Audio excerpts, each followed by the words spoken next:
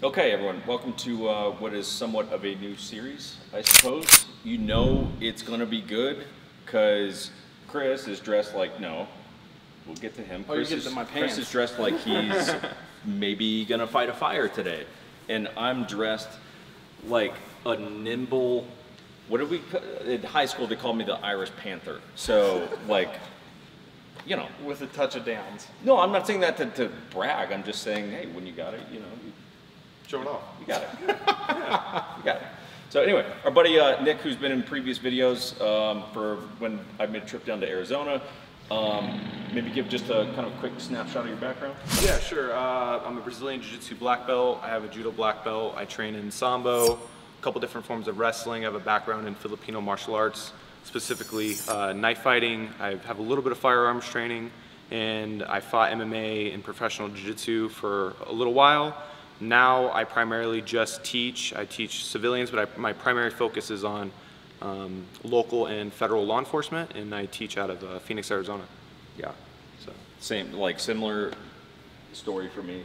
Um, we're not gonna. We're not gonna. like, do tell. It's too long. It's just too long. I don't want to get into my martial arts Classified background. also. It's like fucking OGA kind of shit, but we're not gonna go down that, right? Um, so anyway, we're gonna be doing some like combative stuff for a few videos. So you'll see these probably popping up like once a week. And I believe first we're talking uh, more conceptual stuff on uh, fixed blade versus folders. Yeah, a little bit mindset, principle, and concepts. Uh, most people carry a pocket knife, whether it be for self-defense or utility purposes.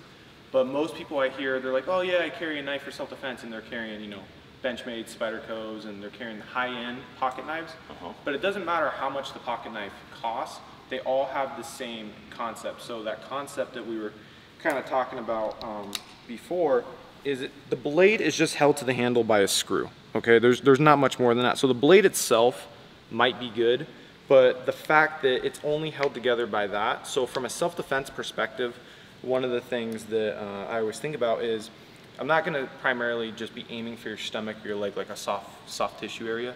You know, what if I were to possibly stab you in the collarbone and this gets caught on bone, right? Mm-hmm. So I go to retract the knife or it gets twisted. Now what we're worried about is that blade breaking off from the handle. And now when I go to retract, I only have a handle with no blade. Yes, you have a blade stuck in you, but let's say you still have a knife in your hand, your adrenaline kicks in, now I'm out of the weapon, I only have a handle to hit you with, right? So that's that's one of the issues um, that I do not recommend a pocket knife for self-defense carry. Sure.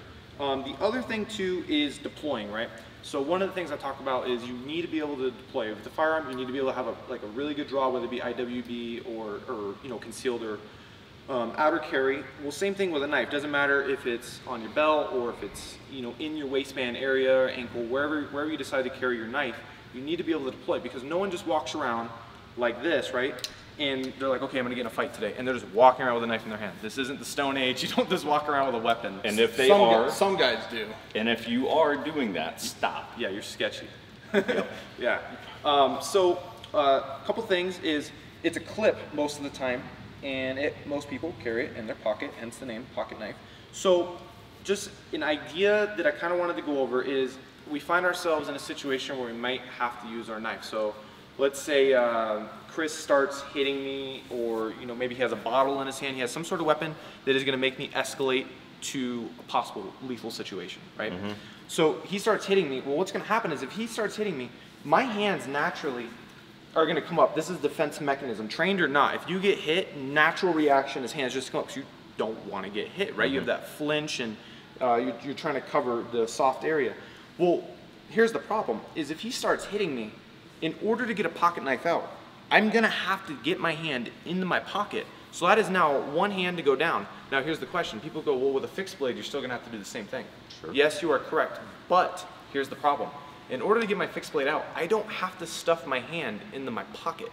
So not only am I reaching down there, my hand now could get trapped. And assuming you have keys, phone, wallet, whatever else may be in that pocket that the knife is on, now my hand is getting all bundled up as this guy isn't just one and done. He's probably consecutively hitting me or beer bottle, ashtray, blunt object, whatever he may have.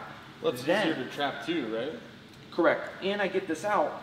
Right? Let's say my hand didn't get caught in my pocket. Whether spring assisted or not, I'm gonna have to do some sort of wrist motion in order to get this into play. And by then, I've maybe been punched six, seven, eight Yeah. times.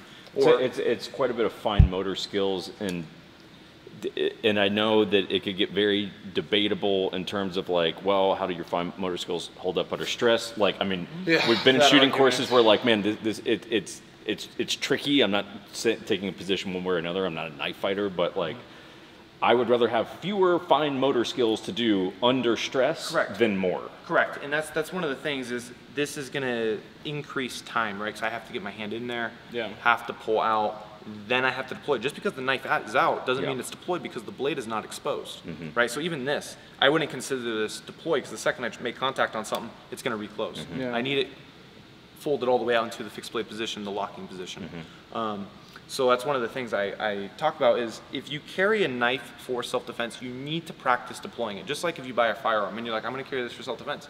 You might dry fire, you might be in your home and you practice your draws or from this position, you know. Well, no one practices like, okay, and then pulling out the knife and getting it out, whether it be fixed blade, you know, horizontal or vertical, or mm-hmm. pocket knife. Mm-hmm. No one practices that. And ways you could practice, you know, doing it without a non-lethal situation is rubber knife, which we'll use later today, and you can use that practicing and getting in your motions. Mm-hmm. So, but no one does it. An argument too I've heard for those is liner lockers. Mm-hmm. I mean, you're talking about a piece of metal just on the edge of another piece of metal. Correct. And so one argument I've heard for not carrying like a folder is say you do go and you hit bone, say the blade doesn't break, but it pops off that detent and slams against your hand. Ooh, okay. Yeah, which I is a great that. argument. Like Yep. you, you know, maybe you deflect and the whole blade just closes on your hand. Yeah. At full like punching force. Yep. That hand's now Yeah. potentially out of the uh, fight. Potentially, it's going to be more knuckle looks when you're holding. True, but the if knife's going to be here. true, but even then, like say you you fillet that thing open and Yeah. Yeah, Yeah. no, no, you're absolutely correct. Again, though, it's you're most likely gonna have that adrenaline dump, Yeah. that tunnel vision. You, that's one of maybe one of those things after the fight or after the situation you were just in. You're gonna be like, "What happened?" for sure. You're not. Yeah, you probably won't even. Just like breaking your hand in a fight. correct. It's one of those things you don't. Most of the time, you don't feel until after, unless you're in the fight and you're like, "Why can't I not make a fist?" All But still sudden?" another good, you know, con of carrying exactly. a folder. I agree. right? I agree. So, what I'm trying to get with this is, I would recommend a fixed blade over the pocket knife. Reason being is it's a full piece of steel attached to a handle that has locking pins. Right, these are permanent, so these won't come out. So I don't have to worry about this snapping off the handle, um, and I don't have to worry about this blade breaking, knowing that, you know, obviously for this one, it's gonna be a forged knife, so the steel is very strong. But if I hit bone with this, it might get caught up, I'm probably gonna twist it out, retract the knife, but I don't have to worry about breaking the knife. So I'm still gonna have this in the fight, and knowing that I have to twist and retract, I'm causing more shrapnel damage to your shoulder, 'cause now we're splintering off bone, ligament, muscle, and uh, soft tissue damage. So That's that's creating another hole too, because if you go on this way, then go horizontal. and that's the way I teach a lot of the guys is like when we stab, it's not here and puncture out. It's not gonna be like a ketchup packet. It's here, twist and retract. Call it like you're- a corkscrew is what you said. correct. Yep. Yeah. Yeah. you you remember that from last time? Yeah, huh? yep. Yep. Check out that video series. A lot of good info in there. Yep. So, yeah, that's uh, that's why I recommend the fixed blade over the pocket knife. It's going to be one more durable. Two, you don't have to have that longer uh, deploy time or the way you worded it is. And the second, the third thing is getting my hand trapped in my pocket. I don't like. I don't want my hands trapped at all. I'm, That's almost like I'm handcuffing myself. I mean, when he wears skinny jeans, there's almost no room for his hand to get in his pocket. So Is it because skinny jeans or because of something else? skinny jeans for sure. Oh, sure. okay. Yeah. You're effectively I wear Losing. slim pants because I'm trying to show off my quads. Or is All it probably the glutes too? The glutes. I did. I did some of those like. I see you doing I wasn't standing, but where you're sitting on the ground and you got the bar on you and you're doing the. Oh. dick thrusts. Yeah, yeah, yeah. Glute raises. What was the weight you were pushing? There's a lot of hot girls that do those, and frankly, hot girls. but what do they have? They have You're a trying to get meaty, that blowout a meaty hind quarters. What's the weight you're pushing on that? what? What's the weight you're pushing on that? A lot. All of it. 40, 80? Triple digits, dog. it's, it's north of a hundo. Over 100? over. Yeah, could be 105, but it's over 100. Don't worry about it. I think The Rock, when he does those, is pushing like 700. And that's my goal to look like The Rock. Uh, so anyway, anything else? No, we're good. Okay, yeah, we're good. We, we are definitely good here, everyone. On to the next. All right, cool. Let me go look at the notebook.